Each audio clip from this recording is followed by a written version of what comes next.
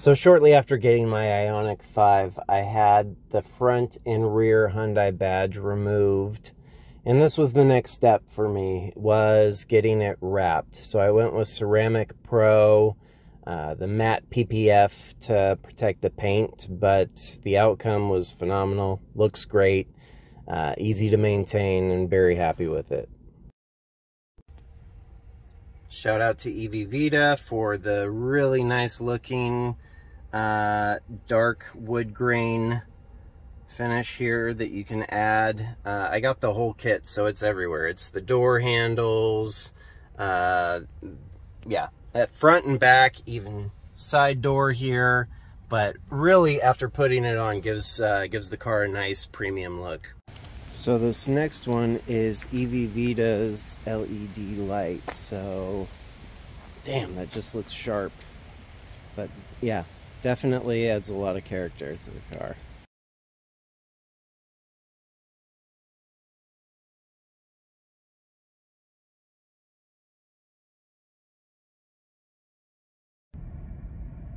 So if you have the Ioniq 5 Limited model with the Bose speakers, this is one of the best upgrades you can make, is this plug-and-play amp uh, sold by a Norwegian company uh, they have set this thing up to literally be plug and play with their own uh, specific cord that comes with it.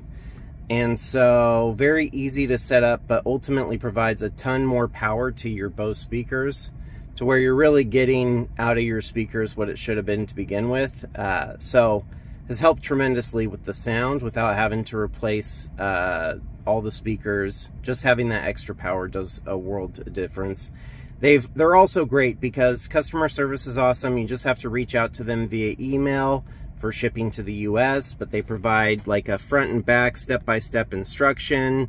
There's no nuts or bolts. Uh, just basically pop up this plastic piece in the back seat and then uh, reach under, pull out those cords, plug it into the new cord that they send, and it's up and running in less than an hour. So Really love this, highly recommend it. I'll show you what it looks like in the back.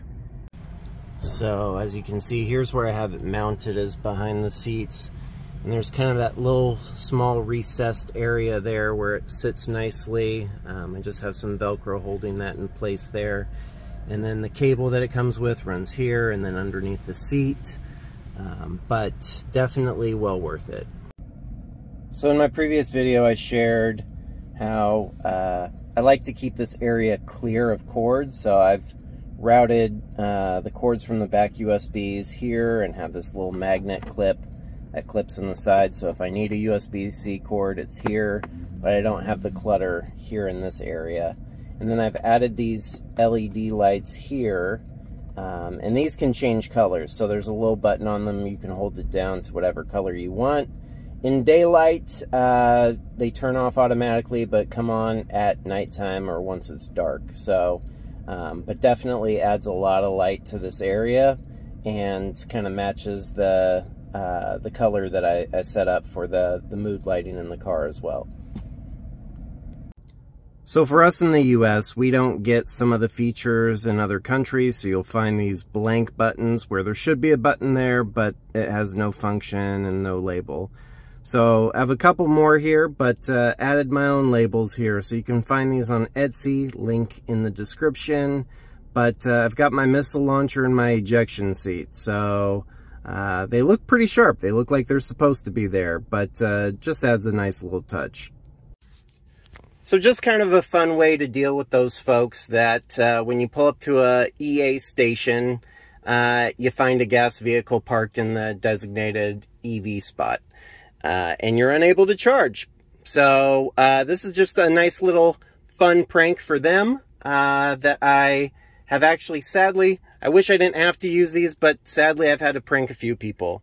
So as you look at it, you can already probably tell right away there's no such thing as some city and TM is not a state. And even as you look at the finer details, uh, there you can tell right away, okay, this is definitely a prank but at first glance, they look very legit.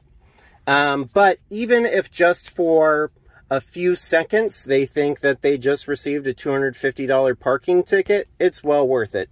So I go through the trouble of filling out their license plate, their make, their model, and then I go to box 30 and I check that one and then I write a nice little description about how they are parked uh, illegally in a EV parking designated spot, even though it's not illegal, but, uh, and then I sign it, date it, and put it on their windshield. Um, so it's all in fun, but maybe next time they'll think uh, twice before parking into an electric vehicle spot. So in my last video, I was using AA Wireless for wireless Android Auto, which is great, works flawlessly, um, but I've upgraded to this CarlinKit T-Box Plus. Um, this is a great device. I've tried a couple other boxes, but this one seems to be the most reliable. I've got a Verizon SIM in it, uh, and then customized it a little bit. So I've got the Nova launcher going here uh, with my own icon pack so I can literally add any app I want from the Google Play Store. So if I'm charging, um, I might be watching YouTube TV or uh, watching YouTube videos. But most importantly, uh, I've also got reliable Android Auto wireless too. So this works beautifully. Um, so, I mean, it's a perfect match is when I'm driving, wireless Android Auto works great, but when I'm parked, charging, sitting, um, I could literally run any media app I want, any video, anything like that. Uh, literally anything that's on the Google Play Store. So it, this was a very nice upgrade for me, uh, and it's worked absolutely flawlessly. So if you saw my previous video, I had a MagSafe mount that didn't provide any sort of wireless charging or anything like that. It was just a place where I could comfortably um, put my phone, but uh, upgraded that now. And so I've got, this is actually a uh, MagSafe wireless charging bank that I picked up on Amazon pretty reasonably. And then uh, I have a magnet there that works really well with MagSafe. And on the back here, just added this adhesive MagSafe ring. And so this holds it nice and sturdy here.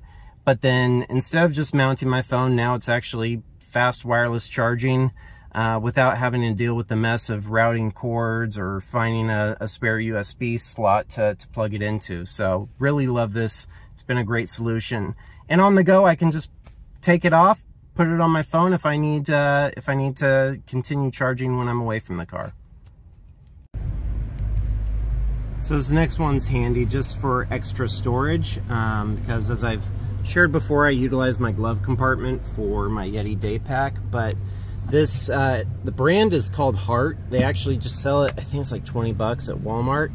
But nice little storage solution for uh, all your smaller items that you carry around um, and hardly noticeable. So, um, you know, if somebody's looking from the outside, uh, you won't really see it. It's noticeable obviously in the light, but uh, blends in really well with the floor here. So nice little way to keep some extra storage in the car um, without taking up any additional space, um, but having everything I need.